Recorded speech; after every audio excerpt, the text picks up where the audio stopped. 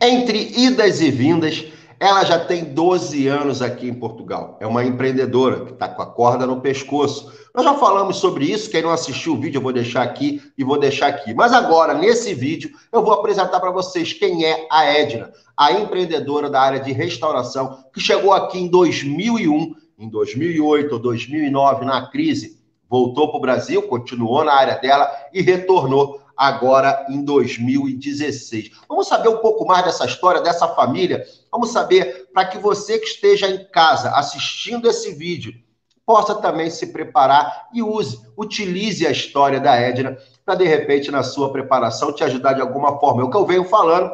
Esse é o novo objetivo aqui do canal. Então, se você caiu agora de paraquedas e ainda não é inscrito, se inscreva, ative as notificações, porque aqui são dois são dois vídeos por dia. O primeiro ao meio-dia aí do Brasil e o segundo às 18 horas. Sempre trazendo histórias de brasileiros que estão aqui. Histórias de sucesso, histórias de fracasso, alegria, tristeza, decepções, enfim, tudo o que o brasileiro vive aqui em Portugal. Edna, mais uma vez, seja bem-vinda aqui e me fala um pouquinho como história lá em 2001. Da onde você é? Você saiu da onde? Por que, que veio para cá, para Portugal? Eu sou de Belo Horizonte, né?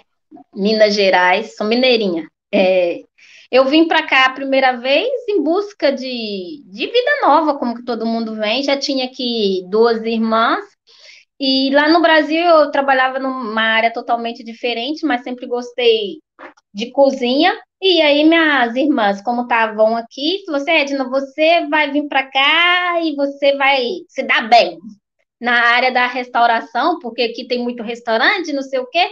Pronto, vim para cá em 2001, início de 2002, para trabalhar na restauração, e só que eu fui morar no Porto.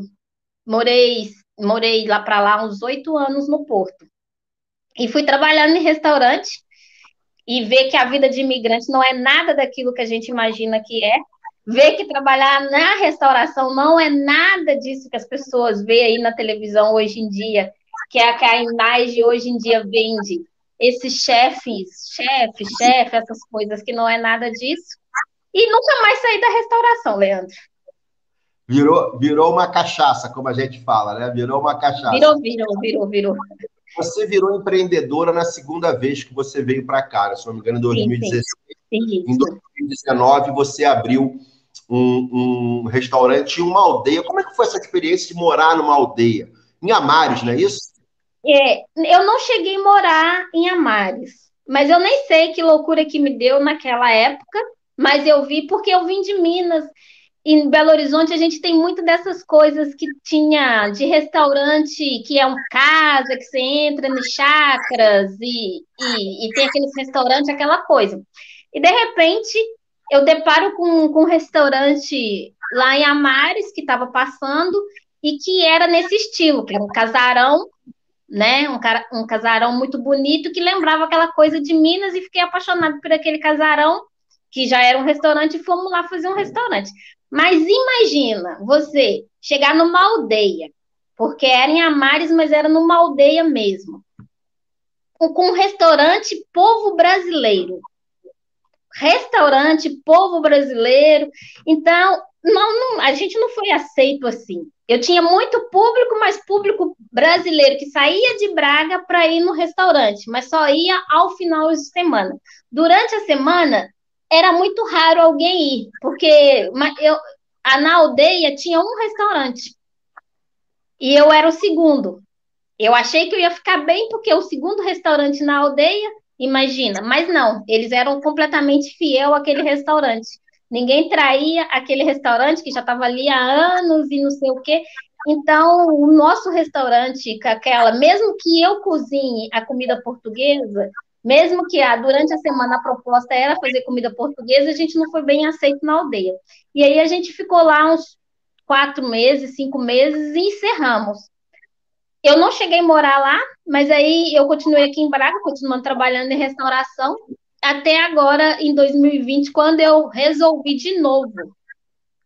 Perdeu muito dinheiro nesse seu primeiro empreendimento? Muito. Basicamente, tudo que eu tinha. que eu tinha trago. Foi um tiro no pé. Não, um tiro no pé. Basicamente, tudo que a gente tinha trago para Portugal, a gente tinha investido nesse restaurante. Foi uma loucura, foi aquela coisa, foi falta de planejamento mesmo. A sua família é composta aí de quantas pessoas? Quatro. Eu, é meu esposo e dois filhos. Dois. Qual a idade dos seus filhos? Tem a Vitória, de 17 anos, e o Vitor, de 4. Esse já nasceu aqui em Portugal? Não, todos vieram comigo. A, a, Vitória, Edna? quando veio, veio pequenininha comigo. Tá me ouvindo? Entendi. A Vitória ouvindo, veio, veio pequenininha e o Vitor também. Entendi. Mas vamos lá. Aí você deu esse tiro no pé no seu primeiro empreendimento. Durou cinco meses e tal. E aí você me falou que voltou. Voltou a trabalhar, não voltou para o Brasil, voltou a trabalhar para outras pessoas, né? Ajudando pessoas a inaugurar restaurantes, né?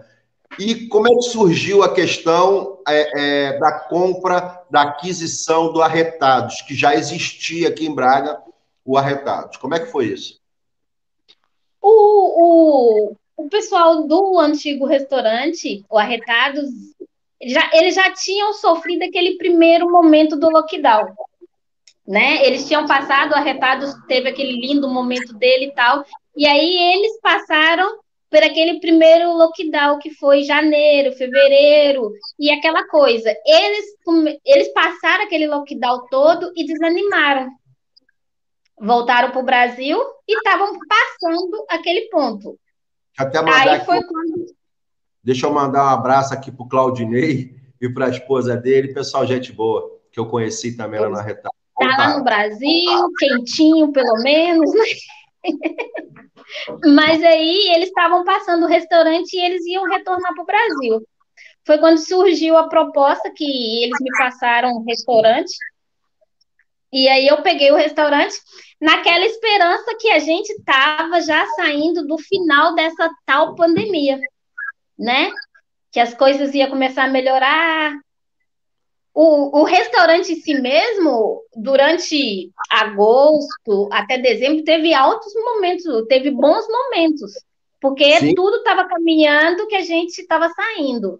Eu, eu, eu, lembro, eu fui algumas vezes no, no, no, no Arretado, lá já com você sendo a, a responsável, a proprietária, já faço aqui o merchandise aí da, da Edna, o restaurante é muito bom, a comida é muito boa, é, comida realmente caseira, e o restaurante estava cheio.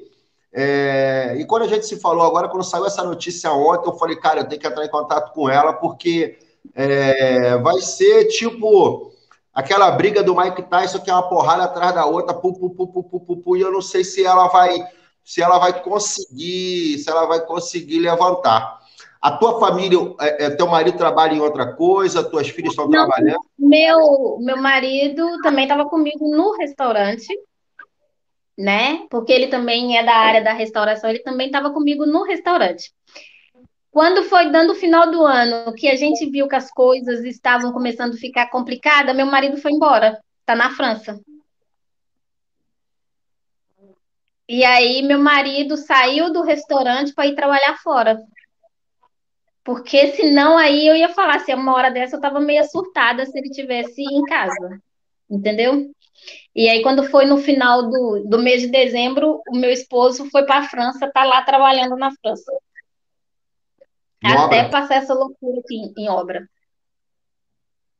Muita gente sai daqui e vai para vai a França trabalhar em obra, né? Pois.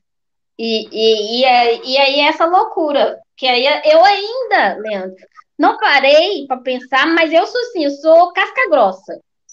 Não, não, é, não é com essa notícia que me diz eu, que eu penso que eu vou desistir, que eu ainda não, não vou desistir, não. Lembrando, lembrando, pessoal, o que ela está falando é sobre um outro vídeo que nós fizemos, uma notícia que saiu. Então, eu aconselho a você que está aí assistindo esse vídeo, clica aqui ou aqui, eu nunca sei onde é, mas você vai poder assistir o que eu falei, o que a Edna falou.